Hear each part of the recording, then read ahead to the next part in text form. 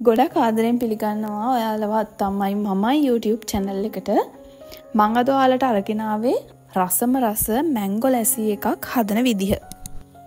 ඉතිං අපි බලමු කොහොමද මේක හදාගන්න කියලා. මේ දවස්සල පාරයනයනකොට හැම තැනම් වගේ අඹ තියෙනවා. ඉතිං රස අම්ඹ තියෙන අපිට අවශ්‍ය වෙනවා මේ මැංගො ලැසි එකට හොඳට ඉදුණු අම්ඹගෙඩි දෙකක්. ති මේ විදිර හොඳින් ඉදිච්ච අම්ඹගෙඩි දෙක මම හොඳට හෝදලා අරගත්තා. දැන් අපි ඉස්සල්ලම් කරන්නනි මේ අඹගෙඩියේ පට්ටේ ගහගන්න එක. මේ විදියට පට්ටේ යවාගන්න අඹගෙඩි දෙකේම. ඒ විදියට සුද්ධ කරගත්ත අඹගෙඩි දෙක මෙතන තියෙනවා. දැන් අපි මේක පොඩි කෑරිවලට කපාගන්න ඕන. ති මේ විදියට පොඩි කෑරිවලට කපලා අරගමු.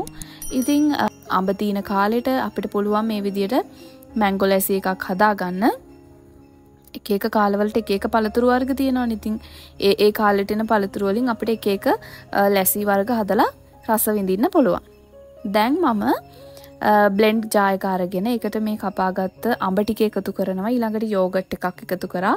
සීනි තේ හැඳි දෙකක් සහ ෆ්‍රෙශ්මිල් කෝප්ප භාගයක් වගේ එකතු කරා. එකතු කල්ලා අපි මේක හොඳට බ්ලෙන්් කරගන්න තමයි තියෙන ඉතින් හරිම ලේසි ඉක්මනටම හදාගන්න පුළුවන් හරිම රසවත් මැංගු ලැසිය එකක් තමයි. ඔන්න මං හදවාලට අරගෙනාව ඉතින් අපිට සරස ගන්න මේක උඩට චූරියට කපාගත්ත අඹ කෑලි ටිකක් මෙහෙම දාගන්න පුළුවන්. ඉතින් ඔයාල මීට කලින් මේ විදියට මැංගො ලැසි හදල් නැත්තං ඔන්න අදම හදල රස බලන මේක මාරම රසයි. ඉතින් අද වීඩියෝ එක හොඳ නම් ලයික් එකක් කමෙන්ට් එකක් දාලා මාව සබස්ක්‍රයිබ් කරගෙන යන්න ඔයාලගේ යාළුවන්ටත් බලන්න ෂෙයා කරන්න. මම ආයිත් දවස ඉක්මනට මෙන්න මේ වගේ රසම රස රෙසිපි එකක් අරගෙන ඔයාලට සුබ දවසක්.